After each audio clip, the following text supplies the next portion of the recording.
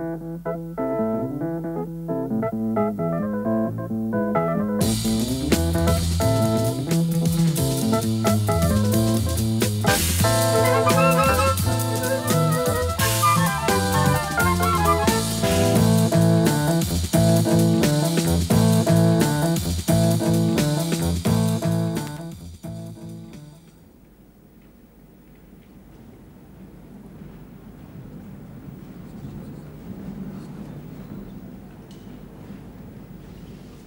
Guten Abend, meine Damen und Herren. Ich begrüße Sie recht herzlich hier im Studio von der FERA in Zürich, wo wir die heutige Sendung von Menschentechnikwissenschaft aufzeichnen, aber natürlich auch recht herzlich willkommen die Zuschauer, die daheim am Bildschirm sind. Unglaublich, aber wahr, eine Sendung über physikalische Tatsachen erwarten Sie ja nicht etwa eine trockene Lehrsendung mit physikalischen Experimenten. In den nächsten 55 Minuten geht es sehr unterhaltend zu. Dafür garantiert uns der Professor Hans-Rudi Striebel, der schon ein alter Fernsehprofi ist, wenn ich so darf sagen, hat schon mehrere Sendungen gemacht mit uns und zeigt, dass Physik nicht etwas Trochs muss sein, sondern sehr unterhaltend kann sein, wenn man so präsentiert wird.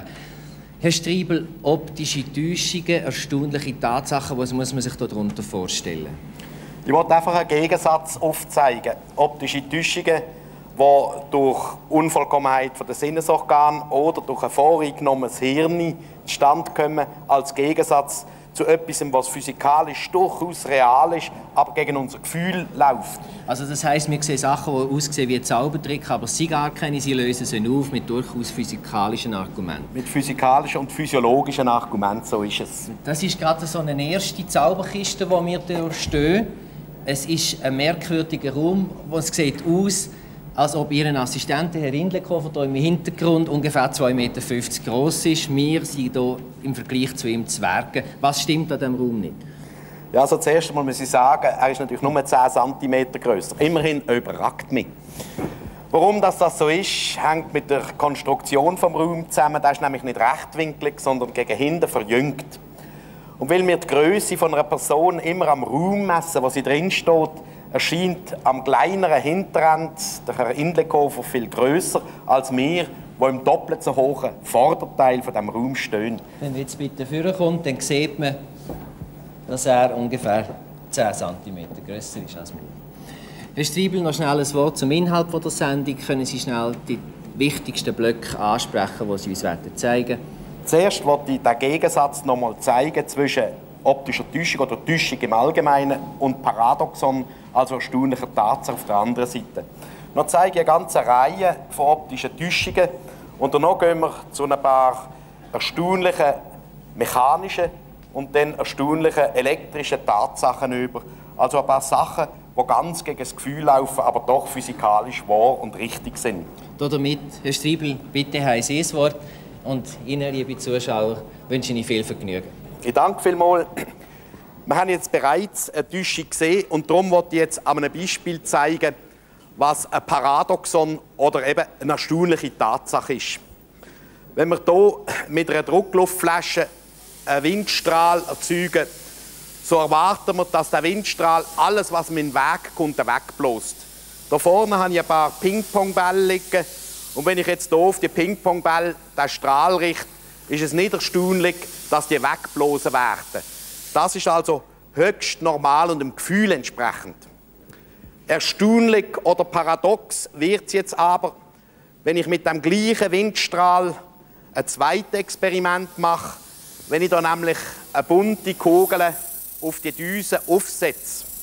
Jetzt bleibt der Ball sitzen. Es ist sogar so, je stärker ich anblos, desto stärker sitzt die Kugel auf dieser Düse. Sie sehen, sie ist frei, sie rotiert. Es ist also so, dass offenbar etwas die Kugel auf die Düse drückt. Das ist ein Phänomen, das vor mehr als, zwei, als 200 Jahren der Daniel Bernoulli schon erklären hat können. Er hat nämlich gemerkt, dass in einem Luftstrahl der Druck umso kleiner ist, je rascher der Luftstrahl fließt. Das heißt, da unten, wo die Luft durch den schmalen Spalt zwischen Düse und Ballen durch muss, ist die Geschwindigkeit hoch und damit der Druck gleich. Oben aber, wo die Geschwindigkeit null ist, da läuft ja keine Luft mehr durch. Da ist der Druck maximal und drückt die Balle auf die Düse auf. Wenn ich jetzt die Balle lüpfe, sehen Sie, dann bleibt sie in der Luft schweben. Das ist auch gegen das Gefühl. Denn die meisten würden sagen, die geht irgendeinem in eine Richtung ab. Aber das ist wieder genau das gleiche Bernoullische Phänomen. Nachdem eben auf der Strahlachse die Geschwindigkeit am höchsten ist und nach außen nimmt die Geschwindigkeit ab. Und darum wird von außen her von allen Seiten auf die Balle ein Druck gegen die Strahlachse ausgeübt und damit schwebt die Balle selber stabilisiert in dem Luftstrahl. Paradox wird dann erst, wenn ich jetzt noch den Luftstrahl neige. Wenn ich das schön langsam mache, so sehen Sie, bleibt die Balle im Luftstrahl hängen, wie wenn es ein Luftballon wäre. Und jetzt müssen wir einfach noch zeigen, dass die Balle tatsächlich vom Luftstrahl dynamisch in dieser Lage gehalten wird. Und zu diesem Zweck unterbreche ich einfach den Luftstrahl unterbrechen und dann stürzt die Balle ab. Damit als Quintessenz sehen Sie, paradox oder erstaunliche Tatsache heißt, dass etwas im Gefühl zuwiderläuft, aber durchaus physikalische Realität ist. Im Gegensatz dazu Täuschungen, die durch die Unvollkommenheit von unseren Sinnesorganen oder von unserem Hirn als nicht real einfach angezaubert werden. Damit komme ich jetzt zu einer Reihe von vor allem optischen Täuschungen. Ich zeige Ihnen als erstes ein schwarzes Kreuz im grünen Feld und bitte vor allem Anfang an, hier im äh, weißen Kreislin das Fadenkreuz genau zu fixieren und behalten Sie es die ganze Zeit genau im Auge. Dann wird nämlich auf Ihrem Netzhaut überall dort, wo das Feld grün beleuchtet ist, ein Bild entstehen, das auch grün ist. Und das Bild bleicht die grünempfindlichen Sehzellen aus. Das heißt, die Grünempfindlichkeit nimmt mit der Zeit ab. Wenn Sie alles weiter fixieren, wird ich nachher die Folie wegziehen. Danach wird an der Stelle, wo grün vorher gesehen worden ist, grün jetzt unempfindlich sein und Gegenfarbe erscheinen. Schauen Sie weiterhin aufs Kreuz und ich ziehe ihn weg. Und was sehen Sie? Wenn Sie richtig fixiert haben, sehen Sie jetzt ein weißes Kreuz im roten Feld. Das nennt man ein Nachbild.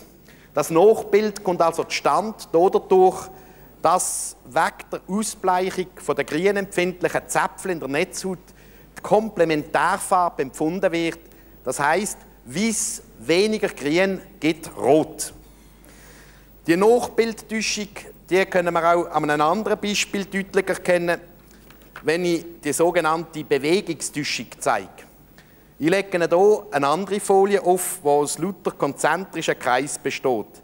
Wenn ich die Folie jetzt langsam anfange zu bewegen, dann sehen Sie eine Täuschung, wie wenn das Rad rotieren würde. Sie haben den Eindruck, es laufen Speichen um.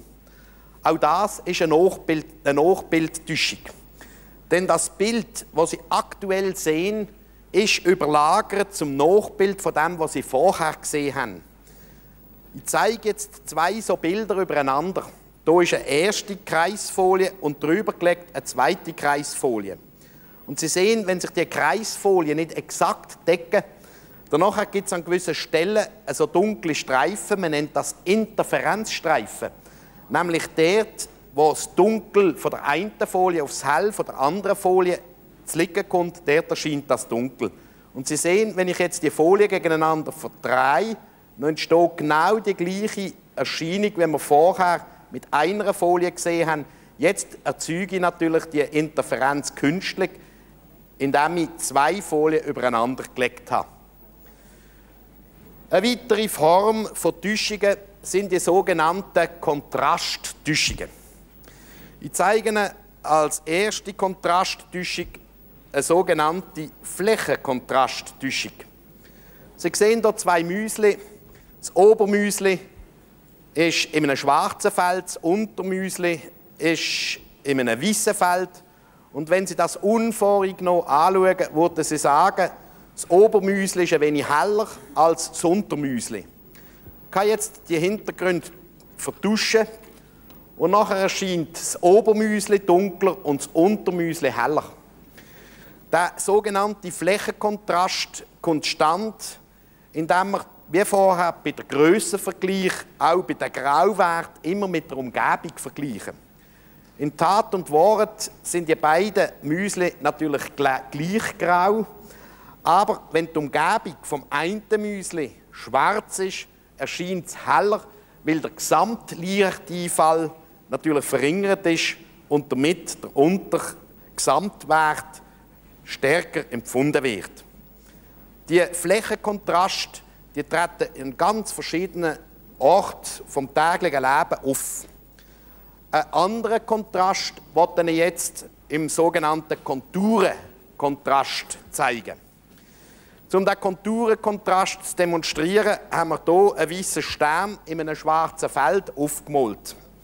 Der weiße Stern hat eine innerste Zone, wo überall innerhalb von dem Kreis gleiche weiße Fläche, Dichte, Leuchtdichte herrscht. Außerhalb der Zacken, außerhalb von dem großen Kreis, ist überall gleich schwarz. Und dazwischen haben wir zunehmend schwärze oder abnehmend weiße Fläche.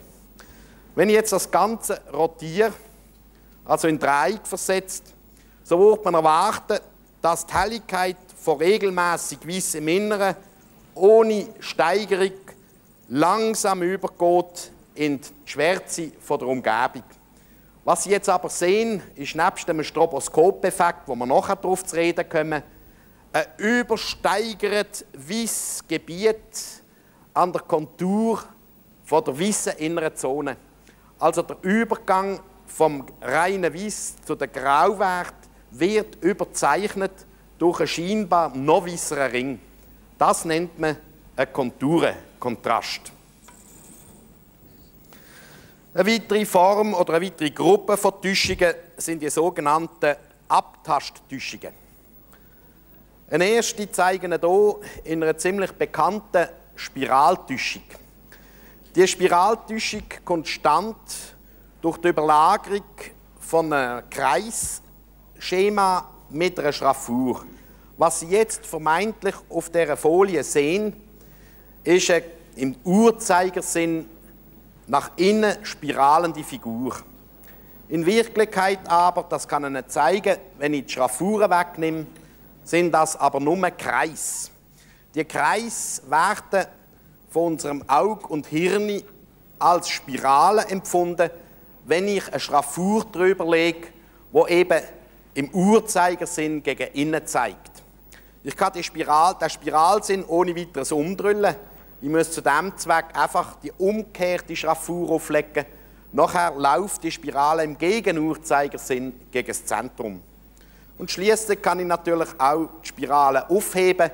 Wenn ich beide Schraffuren übereinander lege, entsteht eine sehr komplizierte Struktur, wo aber keine eigentliche Spirale mehr darstellt.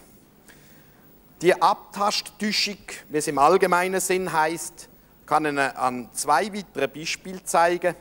Ich zeige Ihnen hier eine Buchstabentäuschung. Auf dieser Folie steht der E mit dem Kopf gegen ein I einander zugeneigt. Offensichtlich sind die Buchstaben oben näher beieinander als unten. Aber das ist durchaus eine Täuschung. Denn die Grundfolie, die das Ei auch schon enthält, enthält ganz genau parallele Buchstaben. Und ich muss einfach die andere Schraffur auflegen und noch sehen Sie schon, neigen die beiden Buchstaben entgegengesetzt mit dem Kopf voneinander weg. Wenn wir schließlich beide Schraffuren nehmen, sehen Sie, entsteht ein durchaus aufrechtes Ei. Wenn ich es noch einrähmle, ist kein Zweifel mehr, dass die beiden Buchstaben parallel zueinander gezeichnet sind. Im nächsten Beispiel immer noch im Sinn von einer Abtasttäuschung wollte ich jetzt das vertraute Signet Menschen, Technik, Wissenschaft auflegen.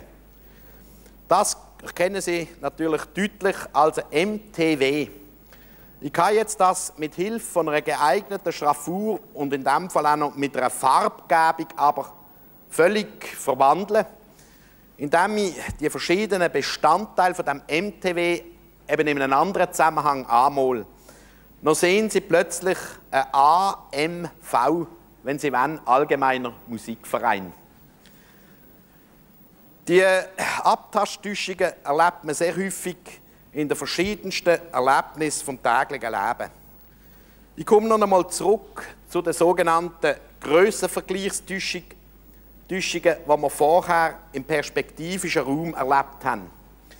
Dort haben wir ja die Grösse vom Rindlikofer und die Grösse von uns zwei vorne am Raum, an der Raumgröße gemessen.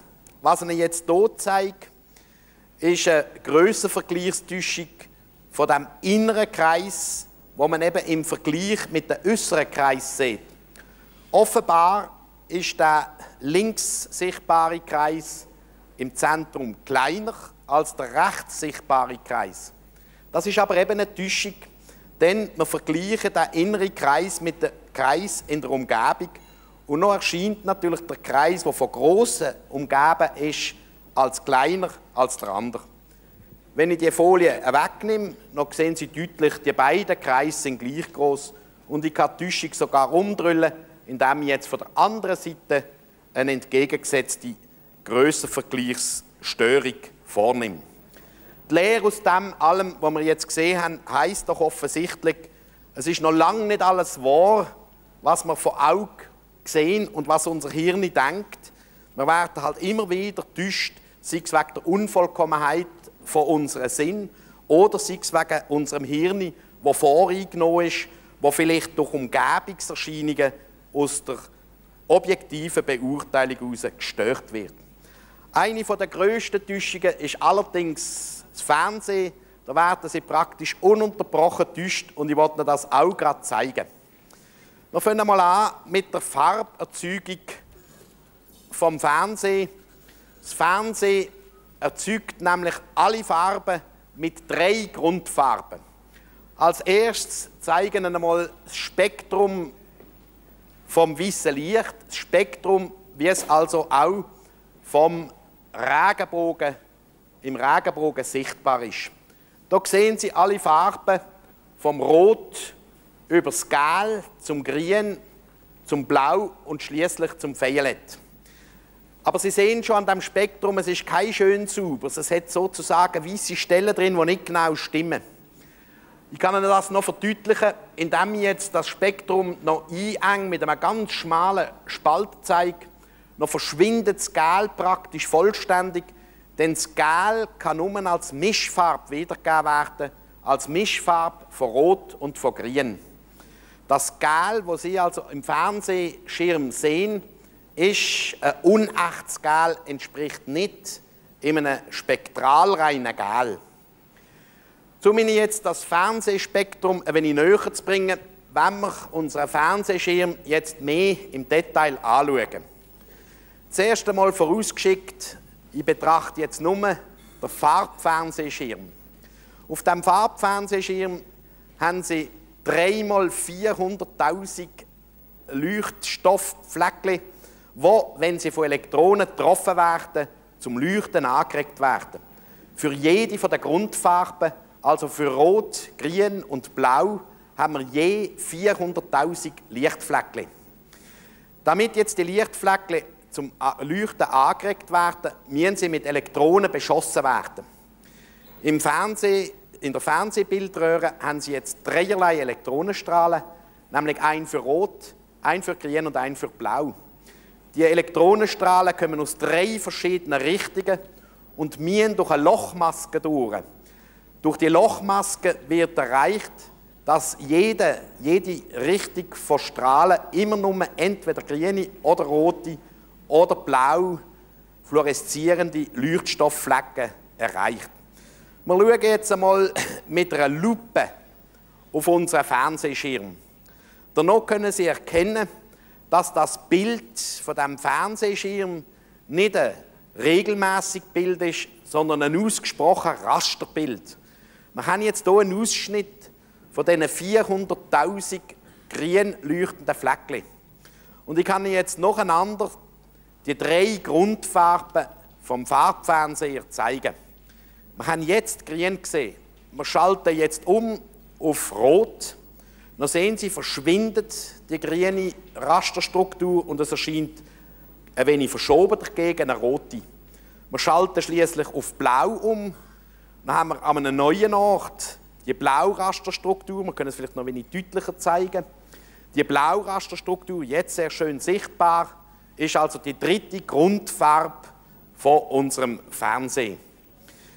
Die drei Grundfarben entsprechen im Übrigen auch den drei Grundfarben von unserem Auge und ich kann Ihnen nachher zeigen, dass unser Auge genau gleich funktioniert.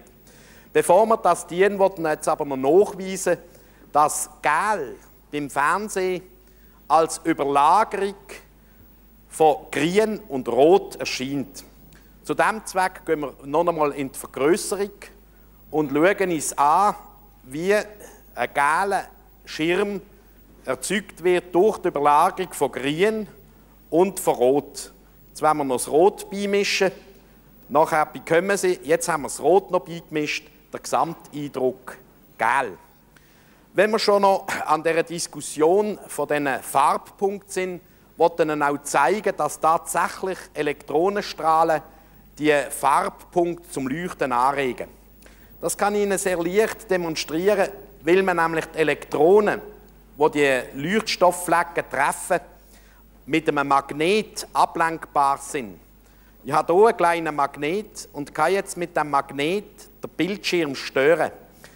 Probieren Sie das daheim lieber nicht, denn mit dem Magnet magnetisiert man verschiedene Stellen und damit riskiert man, dass er für ziemlich lang nicht mehr die Farbe treu wiedergibt. Wir haben jetzt hier, ich habe ihn schon früher einmal gestört, so einen Bildschirm und Sie sehen jetzt, wenn ich da mit dem Magnet draufgehe, wie das enorme Verfärbungen gibt.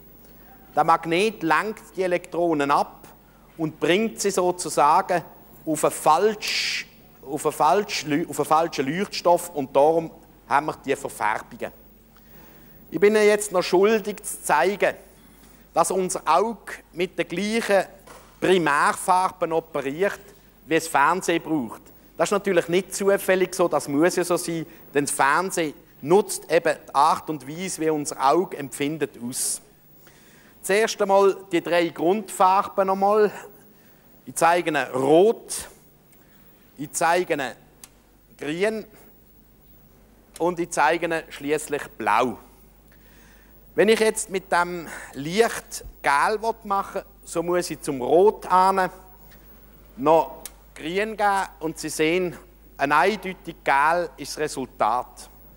Je nach der Mischung, je nachdem, ob ich mehr Rot dazu gebe oder weniger Rot dazu gebe, kann ich noch die Farbnuancen variieren, von orange-gel über gel bis zu gel-grün. Und wenn wir schließlich weiß erzeugen wollen, so brauche ich zum Gel, äh, zum Rot und Grün an, also zum Gel als Mischung, noch das Blau. Auch das werden wir jetzt einstrahlen und dann bekommen Sie ein recht anständiges Weiß. Das Weiß hat im Übrigen eine lustige Eigenschaft. Ich kann in dem Weiß farbige Schatten machen. Denn das Weiß ist nämlich gar kein echtes Weiß. Es ist eben nur die Mischung den drei Grundfarben Blau, Rot und Gel. Und Sie sehen, wenn ich hier einen Schatten wirf, nachher bekommen Sie halt die drei Schatten in den drei Grundfarben, die wir für die Erzeugung vom Wiss gebraucht haben. Eine weitere Täuschung, die uns das Fernsehen bietet, ist die Täuschung der Bewegung. In Wirklichkeit ist ja beim Fernsehen keine kontinuierliche Bewegung zu erzeugen, sondern die Bewegung wird vortäuscht. Wir bekommen zweimal 25 Bilder pro Sekunde genauer 2 mal 25 Halbbilder pro Sekunde fort ist. Und weil unser Auge träge ist, also nicht nachkommt, sieht es das, wenn das kontinuierlich ablaufen wird. Sie wissen wahrscheinlich schon alle, dass die Täuschung klar zu Tag tritt, wenn man zum Beispiel einen rotierenden Prozess, zum Beispiel ein Rad anschaut. Ich habe Ihnen hier so ein Rad aufgebaut und wir können jetzt das Rad einmal in Betrieb nehmen. Und wenn ich da die richtige Geschwindigkeit, Dreigeschwindigkeit erreiche, noch kommt es gerade dazu, dass das Bild von der einen Speicher im nächsten, Halb, im nächsten Bild aufs Bild von der nächsten folgenden Speicher zu liegen kommt. Und damit kann ich es erreichen, dass zum Beispiel, wenn wir jetzt das äußere blaue Rad anschauen, dass das Rad fast zum Stehen kommt. Ich muss das nur richtig in der Geschwindigkeit einrichten. Noch sehen Sie, das äußere blaue Rad bleibt fast stehen. Das rote Rad, das rotiert allerdings noch, denn die beiden Räder haben eine verschiedene Speichenzahl. Wenn ich wenig schneller loslaufe, dann rotieren beide Räder, aber mit verschiedenen Geschwindigkeiten, weil sie eben verschiedene Speicherzahlen haben. So eine Erscheinung nennt man eine stroboskopische Erscheinung und das gibt mir jetzt Gelegenheit, überzuschwenken zu den wirklichen Vorgängen, zu den Vorgängen der Physik. Als erstes zeigen wir einen Wasserstrahl. Der Wasserstrahl, den wir hier zu einer Röhre aus laufen lassen, ist nicht einfach ein kompakter Strahl, sondern wenn wir den jetzt stroboskopisch anschauen, also mit einer wechselnden Beleuchtung, wo all bestimmte Zeiteinheit ein Lichtblitz erzeugt, so merken wir, dass der Wasserstrahl in lauter Tröpfchen zerfällt.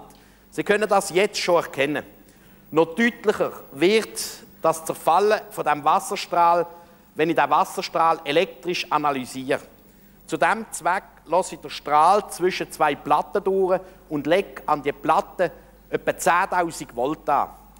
Der Wasserstrahl wird elektrisch geladen und wenn in dem Spannungsfeld die geladenen Tröpfchen abfallen, so werden sie analysiert. Die schweren Tröpfchen werden dabei weniger abgelenkt und die leichten Tröpfchen stärker. Und Sie sehen, bei dem Zerfall in Wassertropfen treten zweierlei Tröpfchengrößen auf. Wir haben die äh, steiler fallenden großen Tropfen und die feinen Tröpfchen, die stark abgelenkt werden. Das wäre auch wieder so ein Stroboskop-Effekt.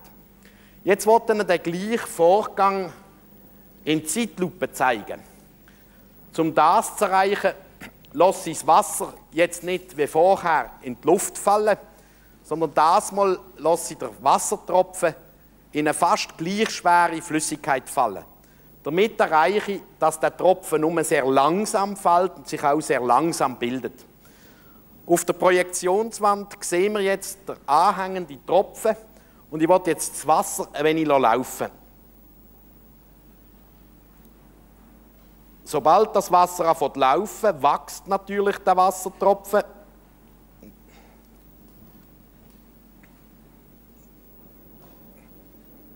Jetzt sehe ich, dass wir kein Wasser mehr drin haben, das wollte ich noch schnell nachleeren. So, wächst der Wassertropfen und Sie sehen, wenn er groß genug ist, schniert er sich ein, schwabbelt und macht ein gleich Tröpfchen hinten dran. Er wächst wieder.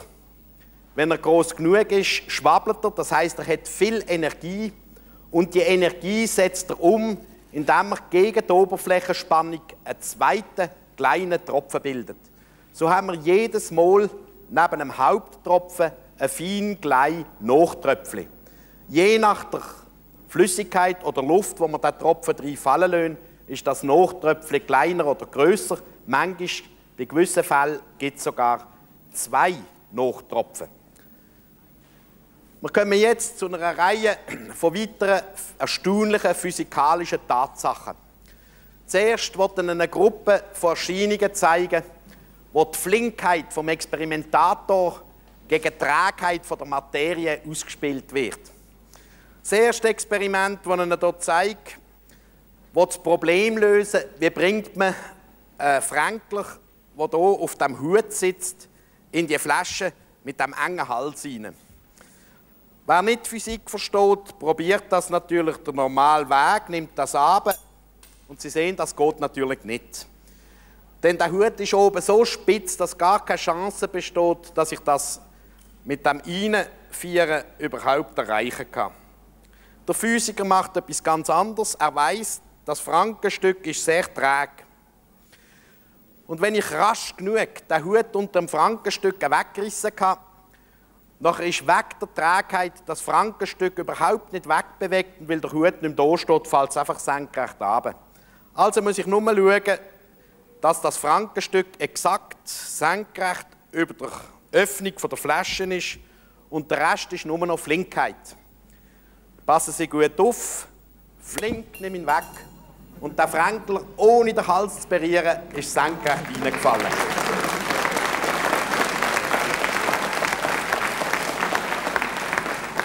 Ein zweites Experiment geht in den Haushalt hinein. Es gibt manchmal das Problem, ich habe einen Haufen Kinder, dass beim Vieri oder beim Morgen das Tischtuch versäult wird. Und das gibt so nasse Ärmel und darum müssen wir als schnell das Tischtuch wegnehmen. Da gibt es die Hausfrauenmethode, die angeht, alle Teller zusammenstellt, alles wegräumt, das Tischtuch wegnimmt und alles wieder auf, auftischt. Ich mache das als anders, wenn meine Frau nicht zuschaut. Ich sage, Flinkheit ist alles. Mit der Flinkheit kämpfen wir gegen die Trägheit der Materie. Ich mache das einfach so, einen raschen Blick, eine kurze Konzentration und flinke weg. Und Sie sehen, es ist nichts passiert und das Tischtuch geht in die Wäsche. Ich zeige Ihnen jetzt ein weiteres Beispiel, wo die Flinkheit und die Trägheit eine Rolle spielt. wenn ich das Problem stelle, wie verrisst man eine Schnur? Ich habe eine Schnur, die etwa 80 Kilogramm Verrissfestigkeit hat. Und Sie sehen, wenn ich das statisch probiere, ich bin natürlich nicht ein besonders starker, so gelingt mir das offensichtlich nicht. Wenn ich jetzt aber die Trägheit von meinen Füßen mit der Flinkheit meiner Muskulatur kombiniere, so ist es eine Kleinigkeit, Sie sehen, die Schnur verrisst ohne weiteres. Das ist noch nicht erstaunlich, für das haben wir sogar ein Gefühl. Erstaunlich und paradox wird die Sache aber, wenn ich eine Schnur mit einem dünnen Fädeli verrissen will. Da oben hängt ein dünn, dünn Fädeli, es hat nur noch etwa zwei Zehntel Millimeter Dicke und die Schnur hat drei Millimeter Dicke. Und erstaunlich wird es, dass ich jetzt sogar noch zusätzlich ein Gewicht von zweieinhalb Kilogramm an den Faden anhänge. Ganz vorsichtig. Denn der Faden ist, wie gesagt, hauchdünn. Und jetzt wollte ich meine Schnur an dem Faden verrissen und zu dem Zweck hänge ich an meine Kugeln jetzt noch die Schnur an. Die Schnur hänge ich an die Kugeln, weil die Kugel träge ist. Und wenn ich an der Schnur flink genug riss, nämlich so flink, dass der Kugel gar nicht genug Zeit bleibt, um beschleunigt zu werden, noch muss, wenn ich es flink genug hatte, die Schnur verrissen, bevor die Kugel bewegt ist und damit wird der Faden nicht beeinträchtigt. Ich muss sagen, das Experiment ist das schwierigste von heute oben, darum bin ich nicht sicher, ob es gelingt. Aber ich will mich konzentrieren und dann mit aller Flinkheit, Achtung, abrissen und Sie sehen, das hebt.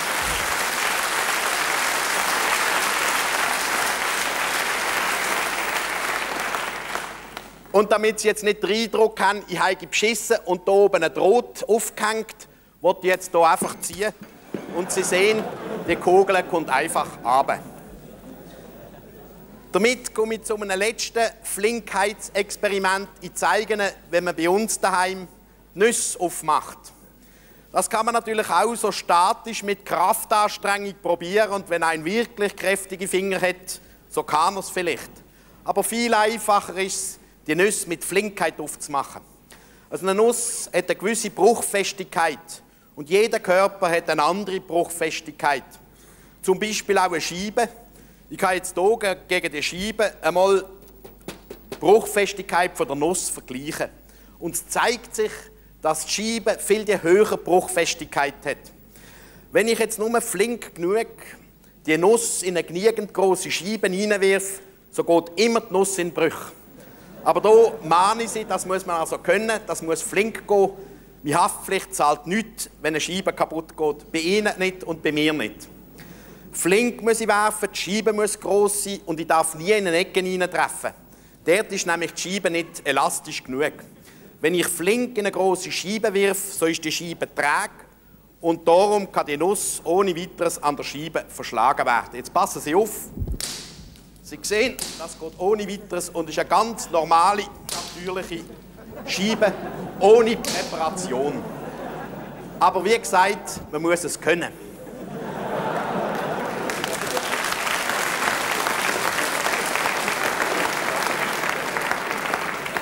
Damit, meine Damen und Herren, komme ich zu einer zweiten Gruppe von erstaunlichen Tatsachen.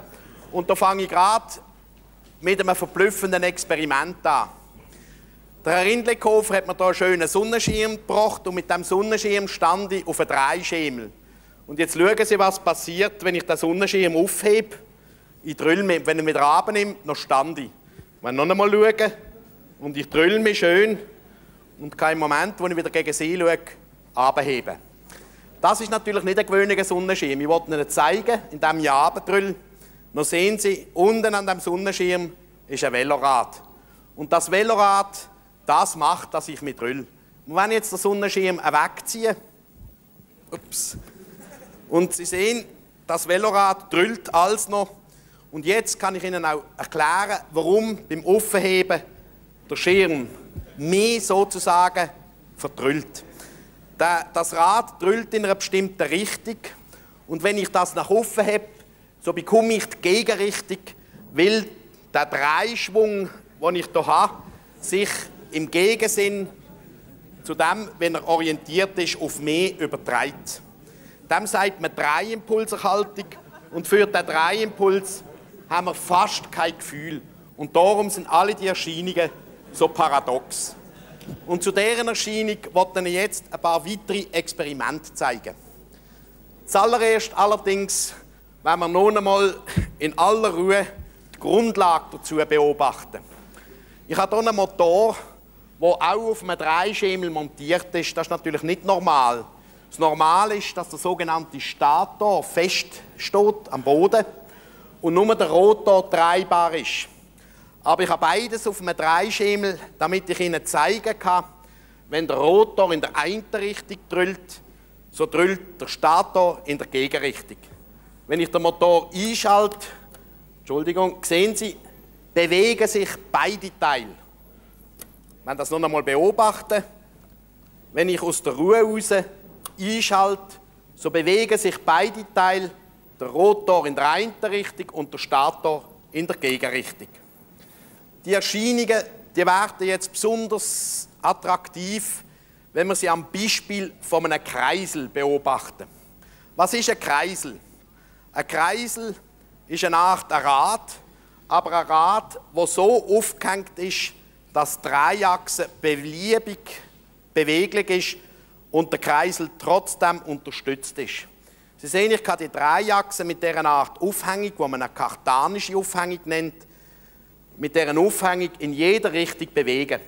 Und damit aus dem überhaupt ein Kreisel wird, muss ich jetzt zuerst den Kreisel in Rotation versetzen. Das mache ich hier mit dieser Schwabelscheibe. So, jetzt rotiert der Kreisel. Und jetzt zeigt er ein paar Besonderheiten, die ganz unerwartet sind. Ich setze ihn hier wieder in meine Aufhängung hinein und wollte als erstes zeigen, dass der Kreisel immer, egal wenn er bewegt, in die gleiche Richtung schaut. Er tut eben seine drei Achsen und damit sein Dreiimpuls, sein Spin, wenn man auch sagt, erhalten. Das ist auch Technik von der, von der äh, Kreiselkompass. Man kann mit diesen Kreisel also eine Richtung vorgeben und dann tut sie immer erhalten. Wenn ich den Kreisel störe, wenn ich ihm einen Schlag gebe, so sehen Sie, bekommt er Zitteri, wenn das nochmal sehen, bekommt er Zitteri, aber Sie drei, sie drei Achsen schaut trotzdem, trotz Zitteri, im Mittel immer in der gleichen Richtung. Denn er ist, wie gesagt, kartanisch aufgehängt. So weit ist das noch nicht erstaunlich. Aber jetzt kommt das eigentliche Paradoxe. Ich tue das mal den Kreisel nicht kartanisch aufhängen, sondern will ihn jetzt auf eine Spitze setzen. Zu diesem Zweck müssen allerdings noch einmal frisch antreiben. Er muss für das sehr schnell laufen.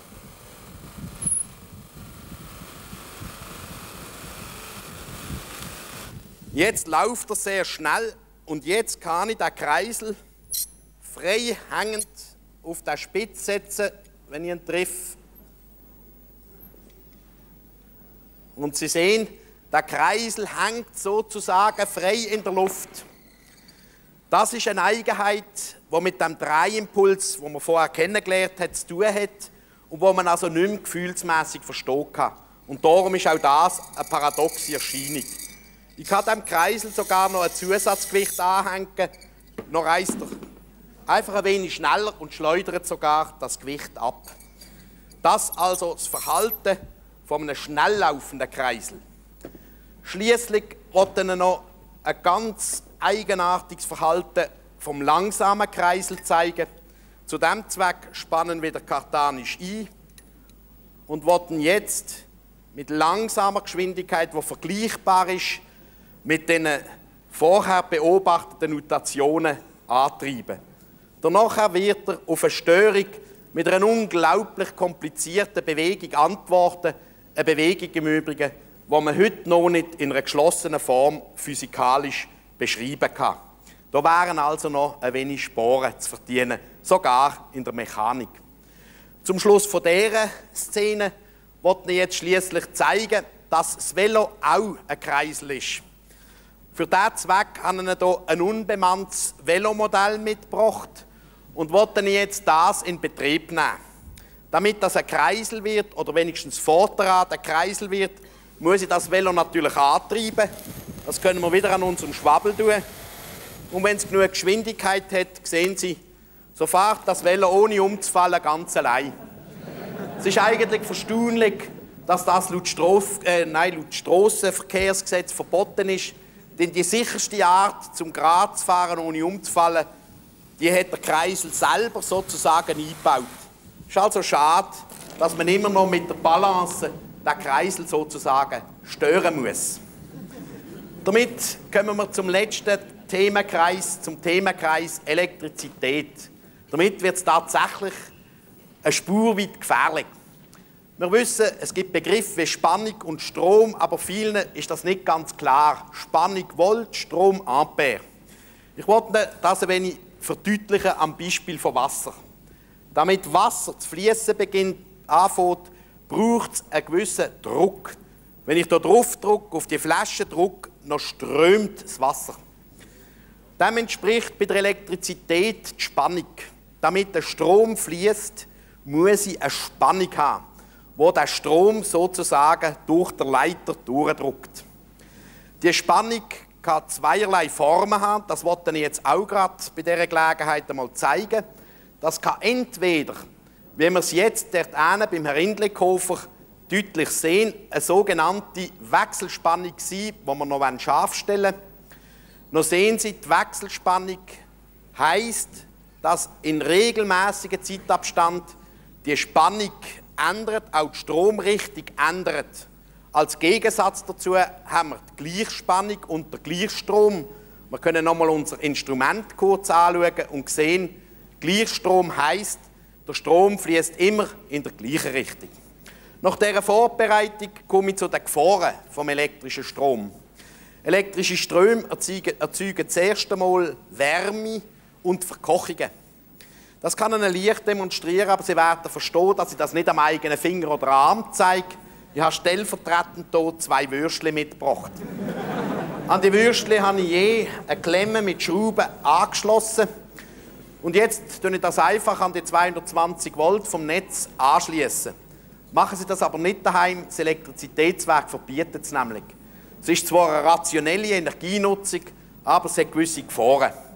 Ich schalte jetzt also ein und brauche eigentlich nur ein paar, Minuten, ein paar Sekunden zu warten, Nachher wird durch den Strom, der durch die Wienerli durchfließt, schließlich so viel Wärme erzeugt, dass in den Wienerli das Wasser zum Sieden kommt und die Wienerli schließlich, wenn ich Glück habe, platzen. Sonst aber mindestens hier ein wenig dampfen, wie Sie sehen. Damit ist es aufgeplatzt und Sie sehen, das Wienerli ist schön gar gekocht und das, wie Sie sehen, in 15 Sekunden. Aber wie gesagt, das EW erlaubt das nicht. Jetzt wollte ich Ihnen zeigen, dass Ströme und Spannungen nicht unbedingt gefährlich sind. Zwar besteht immer Gefahr, dass das Nervensystem durch so Ströme beeinträchtigt wird und es kann bekanntlich zu Herzkammerflimmern oder gar zu Herzstillstand kommen und darum ist nicht Spaß damit. Wenn man spassen will, muss man schon wissen, wie. Eine Möglichkeit ist damit gegeben, dass man nicht einen gewöhnlichen Gleichstrom oder einen langsamen Wechselstrom nimmt, sondern einen sehr hochfrequenten Strom. Und ich zeige Ihnen hier einen der ersten Sender, was in der Schweiz überhaupt gegeben hat. Das ist ein Sender von 750.000 Hertz. Das heißt, der Strom wechselt in Richtung anderthalb Millionen Mol pro Sekunde. Das ist ein sogenannter Funkensender. Über einen Funken, der mit ein paar tausend Volt erzeugt wird, wird es einen Schwingkreis zum Schwingen veranlasst. Von dieser ersten Form von Sender kommt im Übrigen der Begriff Funk her. Nur haben das die meisten Leute vergessen. Jetzt aber zu unserem Funkensender. Daran angeschlossen haben wir nämlich einen Transformer. Da wird von 4 Windigen auf 200 Windigen die Spannung erhöht. Also verfünfzigfacht. Und anfangen die wir mit 5000 Volt mal 50 gibt 250.000 Volt. Die Spannung ist so hoch, dass da oben dann ein ganzer Kranz von Blitz entsteht. Das werden wir jetzt bei reduziertem Licht einmal anschauen. Ich kann zum Funken natürlich nicht schwätzen, wir müssen also schön ruhig sein.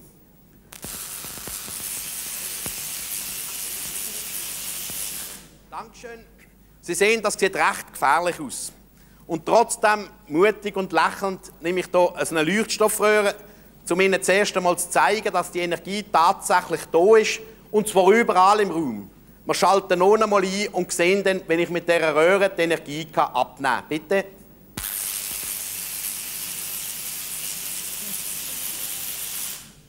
Jetzt kann ich einen Schritt weiter gehen in Vox.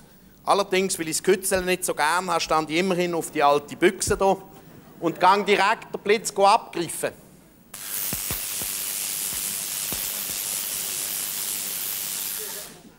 Und jetzt wollte ich Ihnen auch zeigen, dass die Energie tatsächlich hier mit durchgeht. Für diesen Zweck habe ich hier den Aluminiumstab, greife mit dem Stab die Energie ab und bringe sie hier über zur Leuchtstoffröhre und die leuchtet.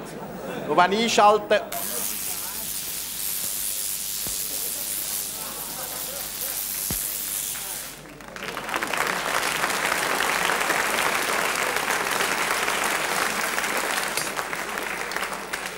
Und damit, meine Damen und Herren, komme ich zum letzten Experiment.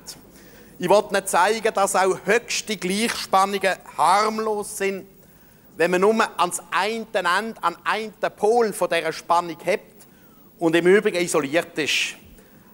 Eine Krähe oder eine Mausbussart oder sonst ein Vogel, der von Hochspannungsleitung sitzt, ist auch ungefährdet, wenn er mit einem Körperteil nicht einen anderen Pol berührt. Erst wenn er an beide Pole lenkt, wird es gefährlich. Um Ihnen das jetzt zu demonstrieren, wollte ich Ihnen zuerst einmal eine Anlage vorführen, die ungefähr 70.000 Volt erzeugt. Die Anlage ist hier, das ist ein einfacher Van der Graaf-Generator oder Bandgenerator, ich wollte ihn physikalisch nicht erklären. Aber ich wollte messen, was für eine Spannung die Maschine macht. Zu diesem Zweck haben wir hier ein Messinstrument, das in der Lage ist, bis zu 100.000 Volt exakt zu messen. Sie sehen, das ist ein ganz anständig Voltmeter, das muss natürlich sehr groß sein. Ich nehme jetzt zuerst einmal die Maschine in Betrieb und dann werden wir einmal probieren abzulesen, wie hoch die Spannung ist. Bei der geeigneten Einstellung können Sie sehr deutlich sehen, erreichen wir, Sie müssen den Lichtzeiger beobachten, eine Spannung zwischen 70 und 75.000 Volt. Sie können die Spannung also wenn ich naiv auch direkt messe mit einem anderen Hilfsmittel. Auf dieser Kugel haben wir nämlich noch ein Krokodil montiert. Das Krokodil sperrt seinen Schnabel auf, weil gleichnamige Ladungen sich abstoßen. Und wenn ich so hochgespannte Ladungen habe, dann dienen die eben dem Krokodil sein Maul aufsperren. Ich kann mich jetzt auch als Krokodil-Tonteur betätigen, indem ich hier mit einem geärteten Stab in die Nähe komme Sehen Sie, schnappt das Krokodil immer zu und wenn ich entlade, so tut sogar sein Schnabel ganz zu. Das also als eine Form von Voltmeter. Und jetzt ganz zum Schluss, meine Damen und Herren, wollte ich selber Voltmeter spielen. Aber weil ich hier kein Papiermaul habe, sperre ich das natürlich nicht auf, das lenkt also nicht. Für diesen Zweck tue ich mir hier aber selber, weil ich keine eigenen Haare habe, mich mit fremden hier ein wenig schmücken und die brauche ich jetzt sozusagen als Voltmeter. Und weil ich ja natürlich nur isoliert die Spannungen aushalte, stand ich hier auf die Teller, die isolieren nämlich gut. Und wenn die Feuchtigkeit nicht zu hoch ist, dann kann ich mich ohne weiteres aufladen auf die 70.000 Volt und Spannung können Sie also ablesen an meinem Papier, das ich hier in die Höhe hebe. Sie sehen, jetzt lade ich mich langsam.